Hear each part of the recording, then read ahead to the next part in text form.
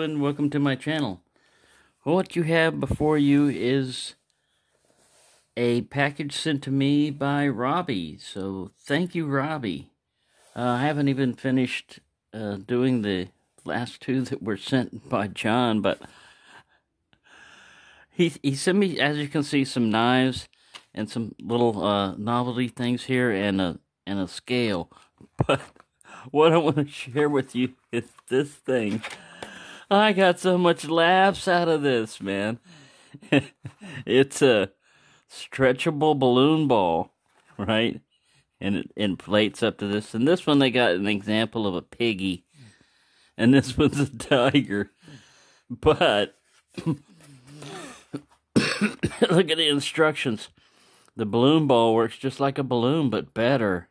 To start, insert the supplied nozzle, white plastics piece, in the valve of the ball, the darkest part of the ball. Uh, you shove it up his butt, man.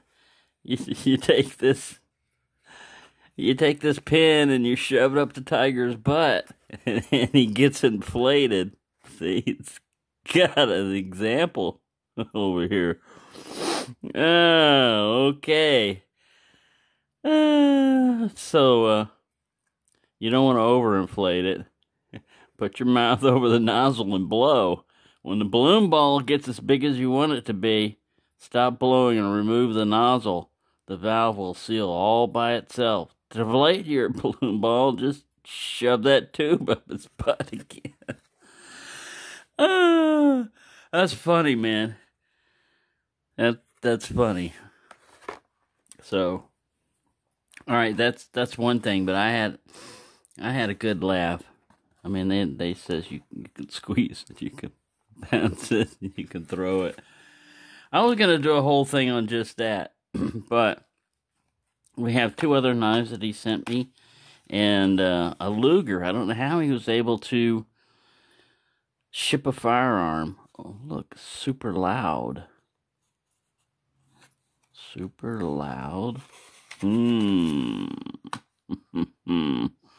Pull hammer back until it locks. You gotta put a cap on it. Warning. Use one cap at a time. Don't fire near your eye or closer than two feet from your ear. What about in your nose? Can you stick it in your nose? Do not point it at people or other living creatures. Uh oh. Nigel, y'all are not technically living. Do not carry caps loose in your pocket.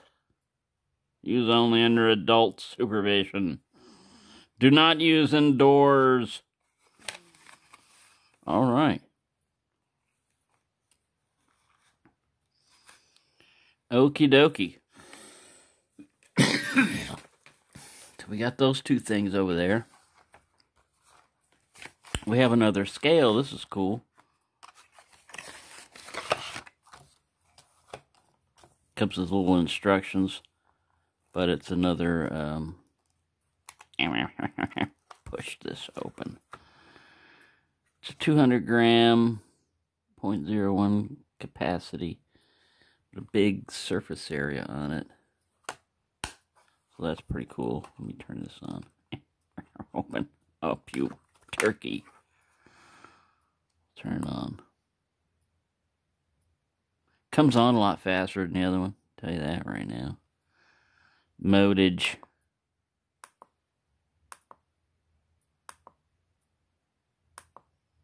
Grams.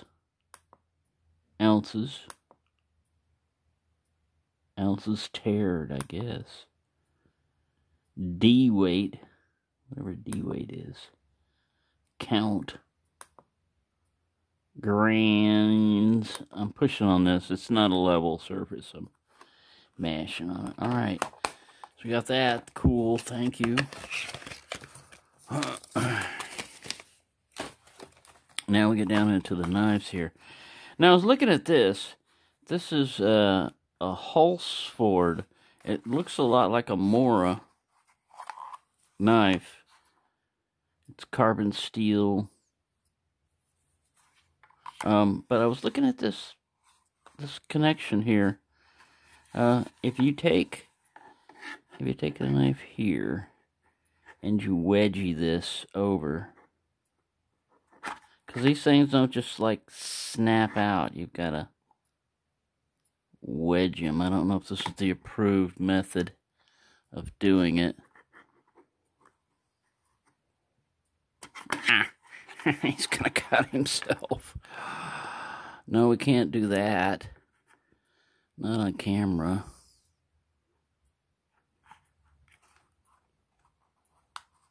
Anyway, I don't know if you just pull this back, but you can you can undo these. I've done it before. Wedgie this over. Get it over there. Get over there. There's one. Bam. All right.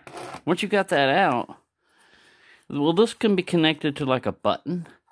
But if you look for regular belt, now I connected it to the end of my, uh, my, just the excess of my, uh, paracord BDU belt. And this little tab here, sir, it'll work. It clicks in there, but this that tab keeps it from sliding back and forth. So it'll lock into whatever place you want to use it. So that's kind of different. You know, that setup. They kind of force you to use that too. You know. Anyway, there's that. And there's a little thumb rest for here. And a little drain hole in the bottom. And this is the model number. Heavy duty knife. Model GK. So this is pretty cool. I like the color. It feels very good in the hand. Like a Mora knife and uh, it looks like it's already anodized. It's kind of hard to read down there, but that that says carbon steel. Oh, if we can get it to where it'll read properly. It's like the stamp was. I was looking at it. Is this a foreign language?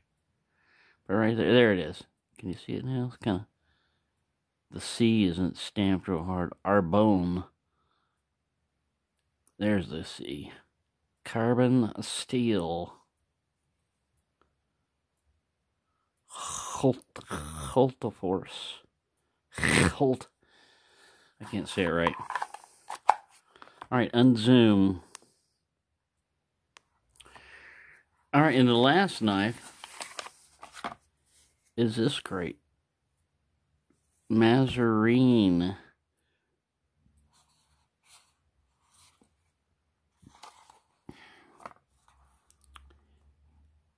Olive wood. I could tell it was olive wood. Man, I love olive wood.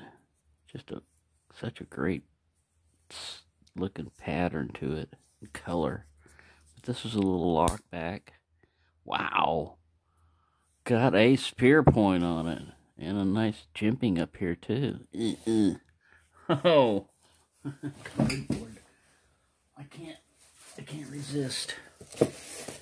First we'll cut out a little piece. We'll try a little slash down. Oh yeah. Then we'll double up a little piece. Anytime we get a, a pointy like this, we're just going to have to test it out against a possible hobo armor. Alright, don't lose a finger. Get the jimping ready. Uh, oh man, that's good. That's pretty good. And I wasn't jabbing with full force, you know, because I didn't want to go through there and take out Nigel in the background. He's he's back here. I don't want to take him out. But yeah, this is a really pointy, uh, stabby type of... Let's see what it says on the blade here. It says focus, you, focus. Stainless steel 440, Italy. Yeah, isn't that a nice blade shape? Spear point. Very, very pointy.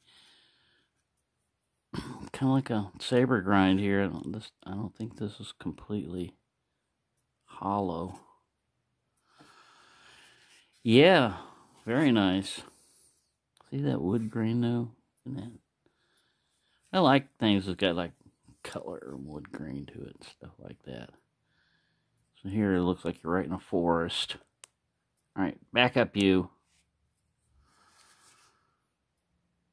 Right, yeah, so this is a cool knife also. Um, let's get the length on him. Length of the blade here, just for the curious.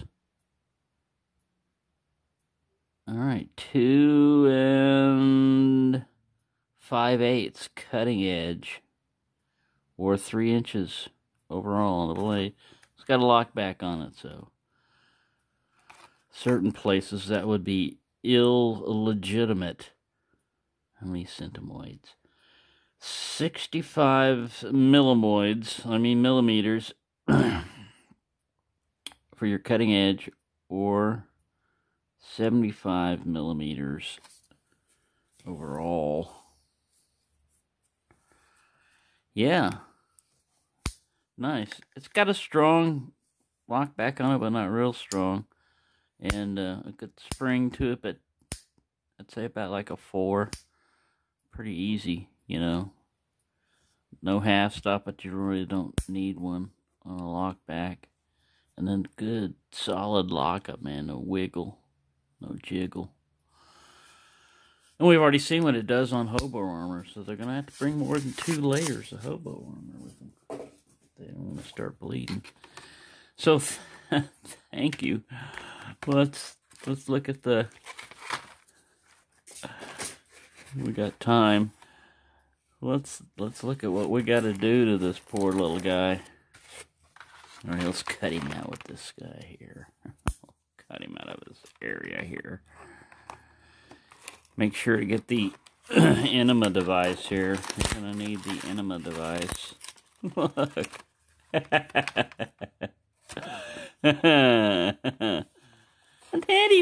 why do I gotta shove this up his butt? Shut up. Shut up, Johnny.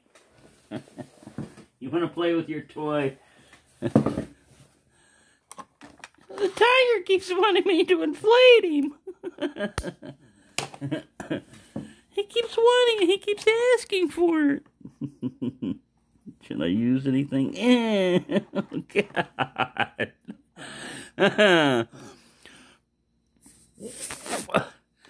I'm not used to this. It takes a lot of pressure. He's fighting it. Hey, how far you gotta go?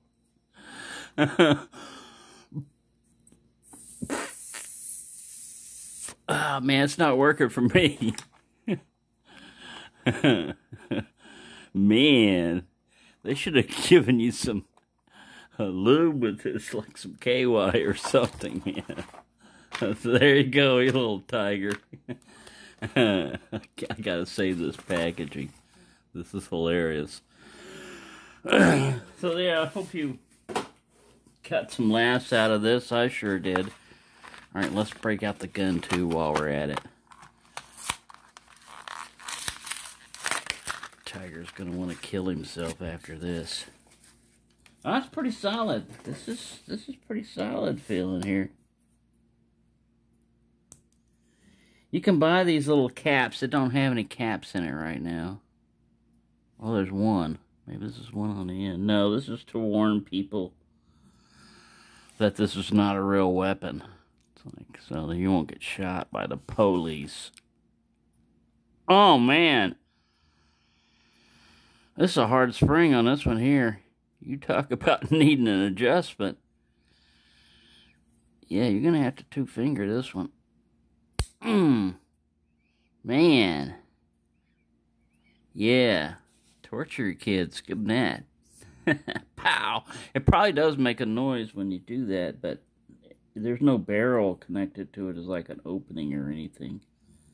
I don't think. but a Luger, it's got like a Luger shape to it. No trigger guard because you need to get your trigger in there, but man, it's torture. so, if your kids grow up strange and you wonder why, well, look at the toys you're giving them. a tiger that you got to shove a surgical needle up his ass to inflate him. And then, man, I don't know, maybe I didn't shove it far enough in. it just seemed too weird.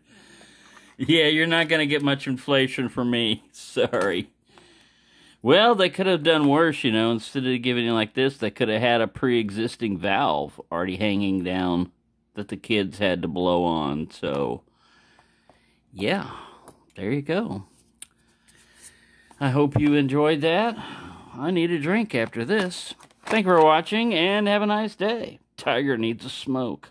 He'd like a cigarette. Inflate me! Inflate me! No, shut up. Go away. Ah, please, come on, inflate me. Come on, please. I want to be inflated.